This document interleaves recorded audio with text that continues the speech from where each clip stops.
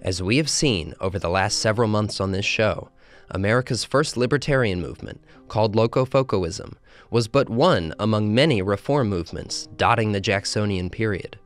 For a century and a half, historians have diligently detailed the stories of abolitionists, working people, feminists, land reformers, prohibitionists, suffragists and suffragettes, free lovers, communists, industrialists, progressivists, free thinkers, transcendentalists, socialists, and the Young America artistic movement that lent credibility to the broad cause of reform. Historians have unquestionably failed, though, to connect these many and diverse reform causes to that libertarian philosophy of locofocoism. We have seen individuals and whole movements spring out of deep intellectual and moral convictions very close to our own libertarianism. We have seen the ideas reach full expression in the life and thought of William Leggett. We have seen them put into political practice with the Equal Rights Party in the election of 1840 military practice in Canada and Rhode Island, cultural practice across the Young America movement. For the most part, these efforts came to nothing, containing many wonderful ideas and stories, but little actual impact on public affairs. This week, we turn to an example of yet more mixed success, in which radical locofocoism was both implemented and watered down at the same time. New York's anti rent war, and the Revolutionary Constitution of 1846. Welcome to Liberty Chronicles, a project of libertarianism.org. I'm Anthony Comegna.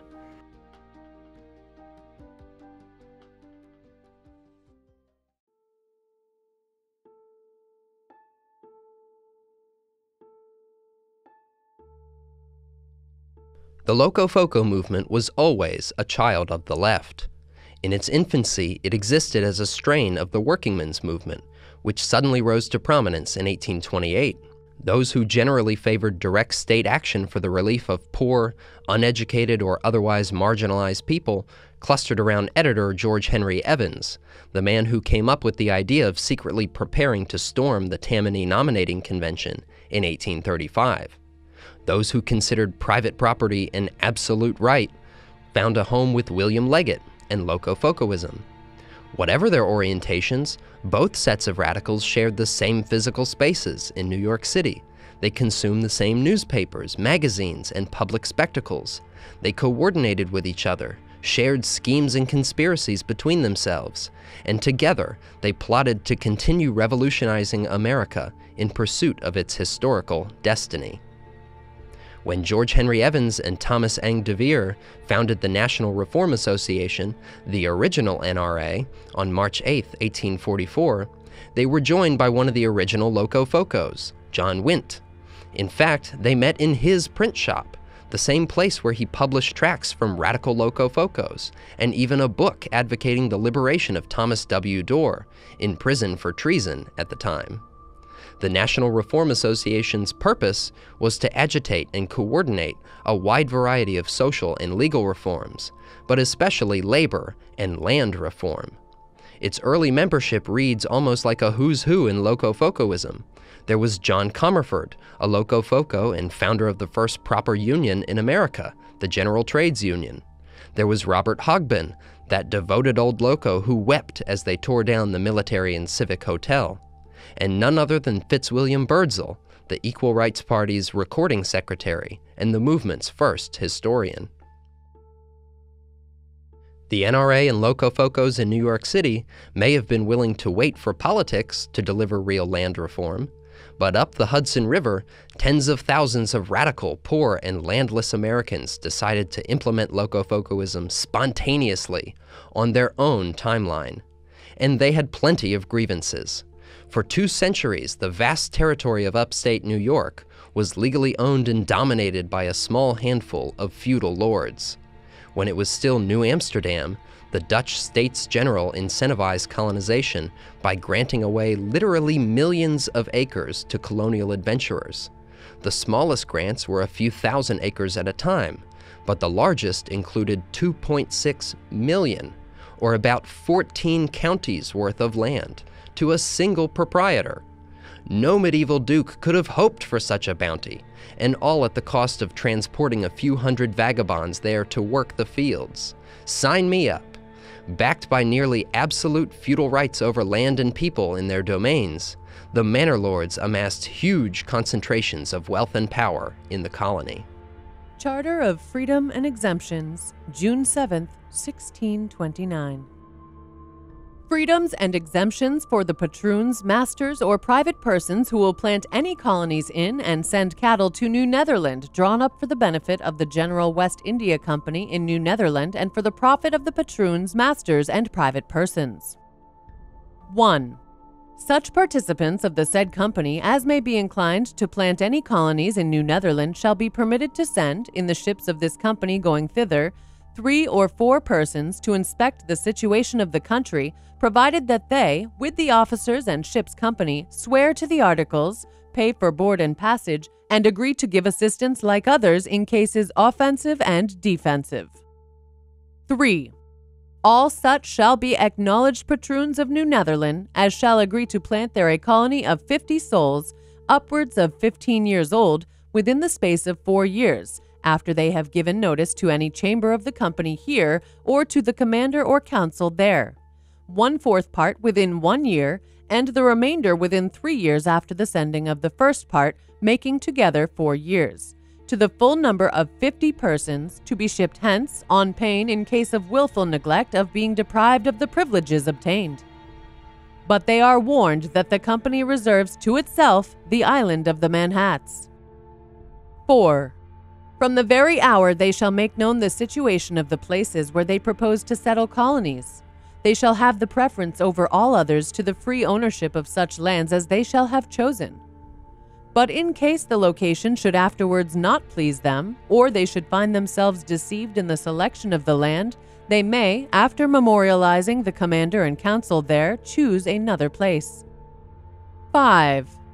The patroons, by their agents, may, at the place where they wish to settle their colonies, fix their limits so that the colony shall extend four leagues along the coast, or one side of a navigable river, or two leagues along both sides of a river, and as far inland as the situation of occupants will permit.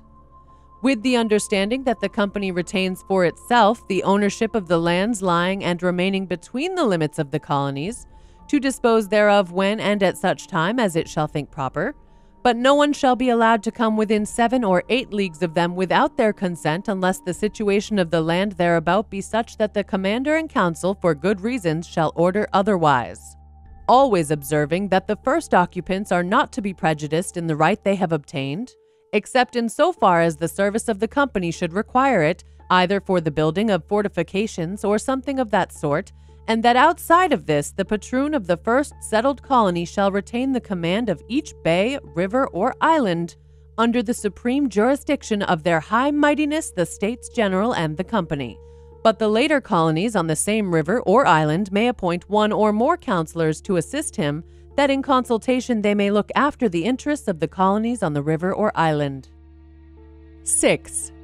They shall forever own and possess and hold from the company as a perpetual fief of inheritance all the land lying within the aforesaid limits, together with the fruits, plants, minerals, rivers, and springs thereof, and the high, middle, and low jurisdiction, rights of fishing, fowling, and grinding, to the exclusion of all others, said fief to be renewed in case of demise by doing homage to the company and paying twenty guilders per colony. No fishing or fowling shall be carried on by anyone but the patroons, and such as they shall permit.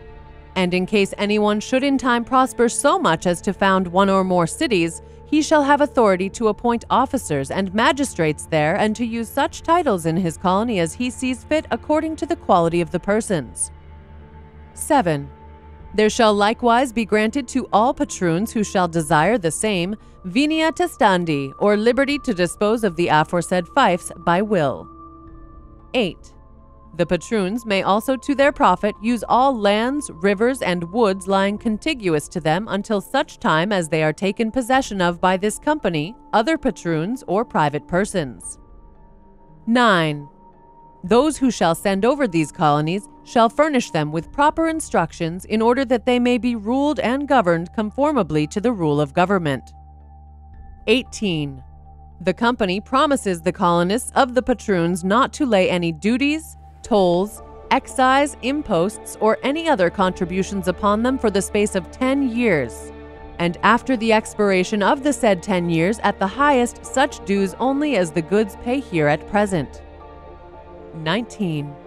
They will not take from their service of the patroons any of their colonists, either man or woman, son or daughter, manservant or maidservant, and though any of these should desire it, they will not receive them, much less permit them to leave their patroons and enter into the service of another, except on written consent obtained previously from their patroons, and this for and during many years as they are bound to their patroons after the expiration whereof, the patroons shall be set at liberty to bring hither such colonists as will not continue in their service, and then only to set them free.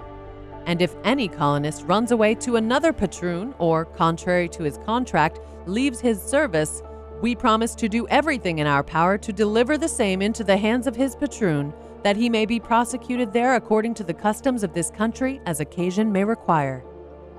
21. And as to private persons who own their own account, or others who in the service of their masters here in this country shall go thither and settle as free men in smaller numbers than the patroons, they may, with the approbation of the director and council there, choose and take possession of as much land as they can properly cultivate, and hold the same in full ownership either for themselves or for their masters. 22. They shall also have rights of hunting, as well by water as by land, in common with others in public woods and rivers and exclusively within the limits of their colonies, according to the orders of the Director and Council. 26. Whosoever shall settle any colonies out of the limits of Manhattan's Island must satisfy the Indians of that place for the land and may enlarge the limits of their colonies if they settle a proportionate number of colonists thereon. 27. The patroons and colonists shall in particular endeavor as quickly as possible to find some means whereby they may support a minister and a schoolmaster, that thus the service of God and zeal for religion may not grow cool and be neglected among them, and they shall for the first procure a comforter of the sick there. 29. The colonists shall not be permitted to make any woolen, linen, or cotton cloth, nor to weave any other stuffs there on pain of being banished and peremptorily punished as oath-breakers. 30. The company will endeavor to supply the colonists with as many blacks as it possibly can on the conditions hereafter to be made, without however being bound to do so to a greater extent or for a longer time than it shall see fit. 31.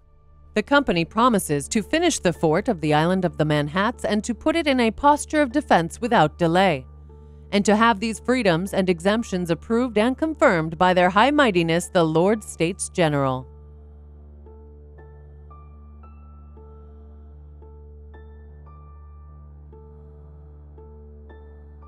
In colonial Massachusetts and Connecticut, the lords were called the river gods, but in New York, the old Dutch label patroon stuck. By 1839, though, Americans had little space in their world for such large leeches. Many of the patroons had already done what they could to divest themselves of their holdings in one way or another. Others, like Stephen Van Rensselaer, greatest of all the great Hudson Valley landlords, clung almost desperately to their ancient, feudal, so-called rights. Van Rensselaer ran into hard financial times during the Panic of 1819, so over the next two decades, he made attempts to collect the massive amount of unpaid rents. According to the terms of many charters, renters were also bound to perform a variety of feudal services. So many days of labor per year spent chopping wood or clearing land or effecting property repairs. Rensselaerwyck, that's the name of the manor, included quarter sales, under which any land sales tenant to tenant devolved a quarter of the sale back to the patroon. Armed with radical anti monopoly, anti corporate locofocoism from New York City, people upriver started refusing their feudal obligations in mass as early as 1839. Landlords called upon law enforcement agents to protect their chartered rights, and anti renters stormed county land offices, burning records wholesale, a fight club style way to erase the lord's legal claims. Over the next five years, villages and communities around the Catskills and the Hudson Valley periodically rose and combined their strengths to resist this or that sheriff, trying to serve this or that paper, collecting rents as the officially appointed lapdogs for the patroons. Anti rent outlaws hid their identities with masks and dressed as Native Americans, so sheriffs were either met with enough physical resistance that they were turned away, or they were unable to actually prosecute the activists. From the start, William Cullen Bryant's New York Evening Post, that original font of Locofocoism, condemned the anti renters who sullied the cause of equal rights by spilling blood at its altar. One anti renter meeting advertised itself as a meeting of the Friends of Equal Rights. John Evans named his anti rent Columbia County newspaper the Equal Rights Advocate. The 1844 Anti Renter State Convention styled itself the Equal Rights Convention. In the fall of 1844, groups calling themselves patriots organized into tenant associations to resist payment together. They divided out tribes of Indians, led by Smith A. Boughton, named Chief Big Thunder. The Indians gathered at Taghkanic in November, dressed in calico uniforms, with feathers, horns, face paint, and whatever arms they could carry. They shouted, Down with rent! and warned officials, Get out of the way, Big Bill Snyder. We'll tar your coat and feather your hide, sir. A journalist on the scene decided it was good advice and hightailed it out of there. On December 12th, Sheriff Henry Miller attempted to serve processes to delinquent renters. 300 Indians in disguise met him in mass and took him prisoner. Big Thunder and six other chiefs forced him to turn over the papers at gunpoint.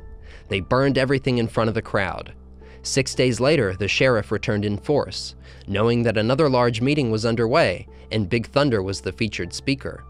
When they arrived, they found him sitting quietly in a tavern, without weapons, willing to come quietly.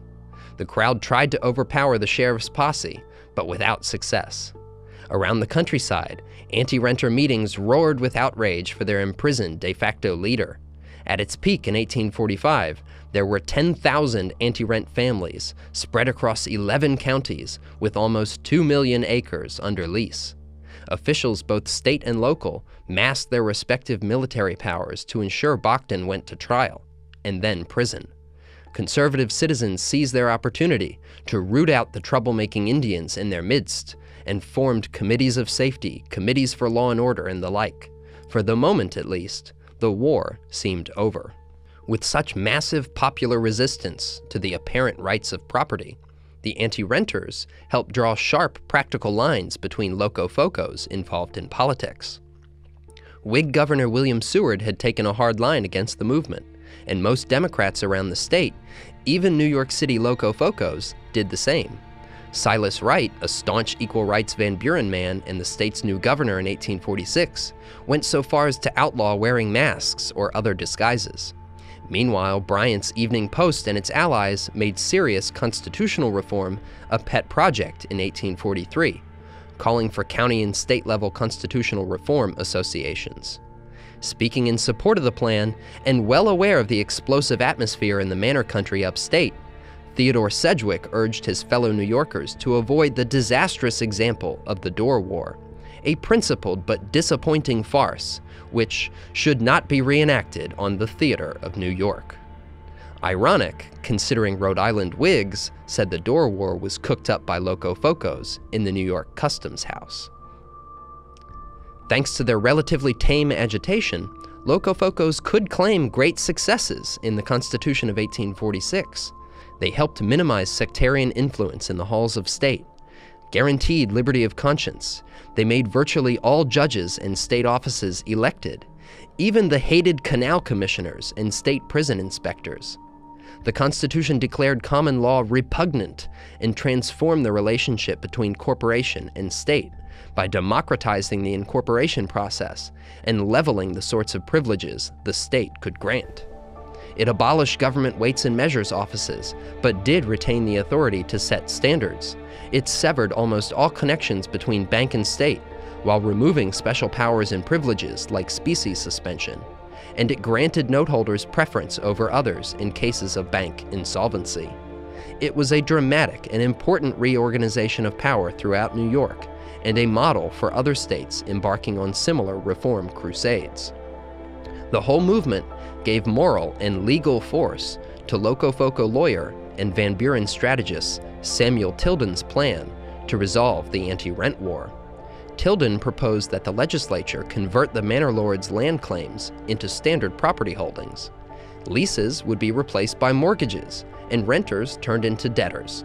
This would relieve the people of their grosser feudal obligations without abjectly destroying the manor lords' property rights. Both parties scrambled to claim credit for some sort of resolution to the anti renter crisis, but the Whigs threw them the best bone a promise to pardon Big Thunder, Smith Boughton. The Whigs won the governor's mansion thanks to anti rent votes and used Tilden's plan to kick the can to the courts. Case by case, over decades, judges determined exactly who owned what land, at what value, and under what terms. Sometimes judgments went to the tenants, sometimes to the landlords. As I understand it, there are still people in upstate New York in possession of land passed down to them from the great patroons of old. Such were the successes of the Locofoco political movement, a long string of losses punctuated by half victories, far more radical in their implications than their actual effect. We can appreciate the ways they revolutionized our world, but we must remember the limitations of their accomplishments each of which was sharply curtailed by failures of practical application and absorbed by the two main parties. This is how America's first libertarian movement both left its permanent mark on our world and disappeared from it almost without a trace. Liberty Chronicles is a project of libertarianism.org. It is produced by Tess Terrible. If you've enjoyed this episode of Liberty Chronicles, please rate, review, and subscribe to us on iTunes. For more information on Liberty Chronicles, visit libertarianism.org. The Cato Institute is about to debut a new podcast called The Pursuit on May 31st. It is a podcast about government action and individual liberty. The Pursuit is a serialized, serial style, week to week story about the very real ways governments infringe on people's totally normal lives. It is a six show feature about individual property rights and government takings, sure to make you seethe with activist energy. It is produced by Liberty Chronicle's very own Tess Terrible